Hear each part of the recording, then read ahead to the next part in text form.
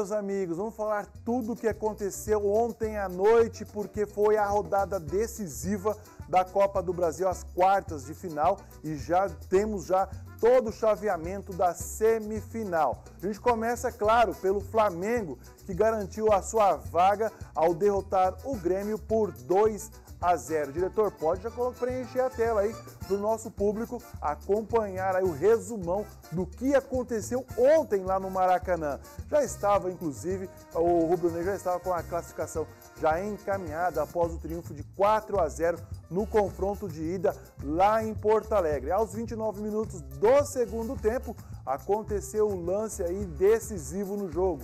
O meia Everton Ribeiro levantou a bola na área, Pedro, que entrou no lugar de Gabigol na etapa final, dominou no peito e mandou de bicicleta. Porém, a bola foi aí, esbarrou na mão, né?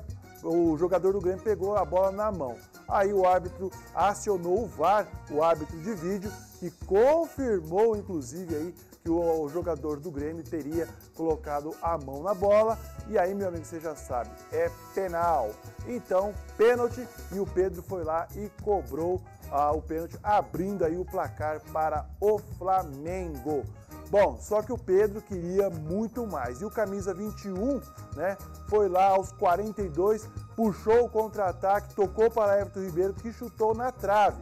A bola então sobrou para o atacante que apenas escorou para garantir a vitória de 2 a 0. E agora o Flamengo vai enfrentar aí o Atlético Paranaense na, pro, na semifinal. Vocês estão vendo aí o Flamengo e esse jogo, meus amigos, minhas amigas, foi um jogo pegado.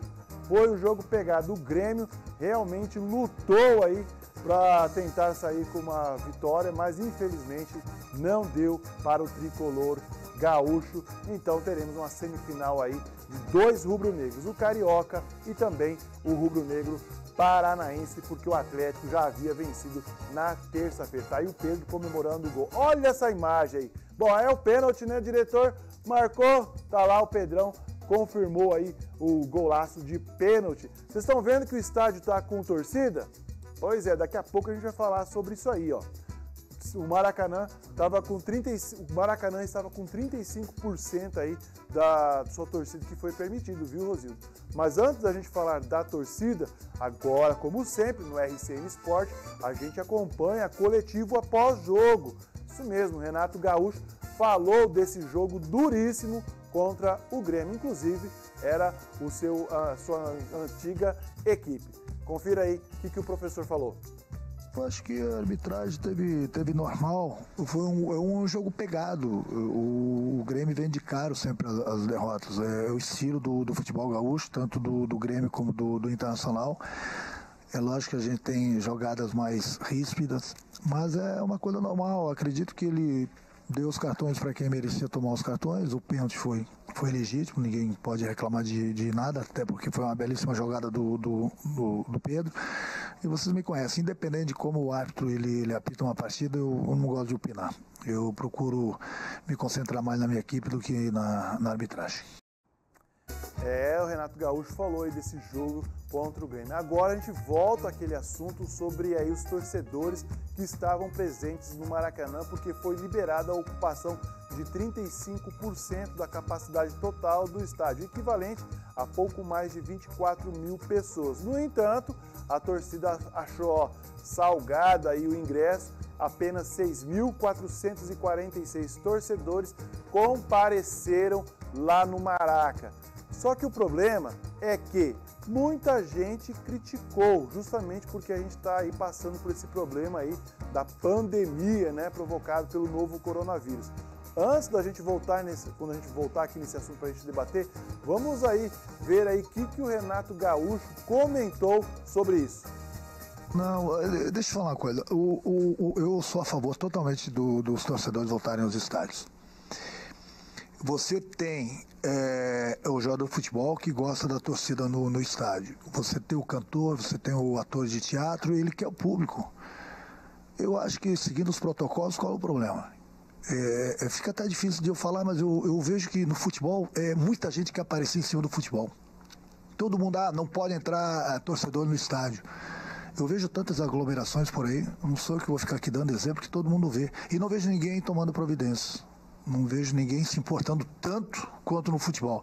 Por que só no futebol? Porque tem uma câmera, as pessoas estão aparecendo. Se tiver que acabar com o público do futebol, que acabe em todos os locais. Eu vejo shows de artistas, que eu não sou contra, bem pelo contrário. Eu vejo outros tipos de shows e não vejo ninguém comentar das aglomerações. Não vejo ninguém chegar lá e proibir, uma vez que outra. Então é, é o tal do futebol. O futebol faz com que todo mundo apareça na televisão, entendeu? Então se querem coibir o público do, do, no futebol, que partam para os outros locais também. Não somente no futebol. Essa é a minha opinião. E aí, e você de casa aí, você acha que o Renato Gaúcho está realmente com a razão? Vamos trazer essa realidade fora dos estádios para nossa realidade aqui em Três Lagoas. Quando você está dando aquele rolezão aí é, por, pela cidade, quantas aglomerações você acompanha, você vê? Nós mesmos aqui dos nossos telejornais, aqui diariamente a gente fala aí que teve aglomeração. Pois é, o problema é que tem muita gente hipócrita no esporte que fica aí de mimimi, querendo se aparecer como o próprio Renato Gaúcho acabou dizendo, querendo aí chamar os holofotes, né? Querendo se aparecer. Bom, comenta aí na nossa live o que, que você acha. Já é a hora realmente da torcida comparecer, não só nos estádios, mas no ginásio, nas provas é, de atletismo, nas provas de natação, enfim. Pode comentar à vontade, eu quero saber a sua opinião. E por falar opinião, vou mandar um abraço para Sara Cristina, para Marília Cara e para o meu amigo Ivanilson, que sempre está batendo cartãozinho lá da Vila Piloto 2. Beleza? Continue comigo aqui na rede social, também, claro, na sua TVC canal digital 13. Diretor, vamos direto para câmera, porque agora vamos falar do líder do Brasileirão, que está impossível. O Atlético Mineiro avançou para as semifinais da Copa do Brasil. Pode encher a tela, meu diretor, que esse aí foi o gol do Hulk de pênalti. Ele derrotou o Fluminense por 1 a 0 ah, no início da quarta-feira. Inclusive, essa foi a primeira partida de quarta-feira, aconteceu às 19 horas lá no Mineirão. E aí, o Galo louco, né? O Galo furioso, o Galo Mineiro despachou aí o Fluminense por 1 a 0 e já está garantiu aí a sua participação na semifinal.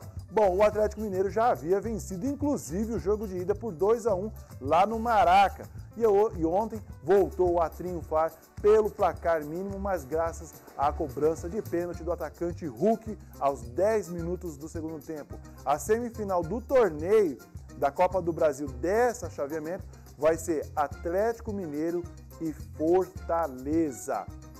E elas só serão realizadas na segunda quinzena de outubro, enquanto não disputa a partidas decisivas, né, as partidas decisivas, o Galo Mineiro, o Atlético Mineiro, volta a campo neste sábado pelo Brasileirão, onde é líder disparado com um campeonato de 42 pontos e vai receber o Esporte de Recife no Mineirão.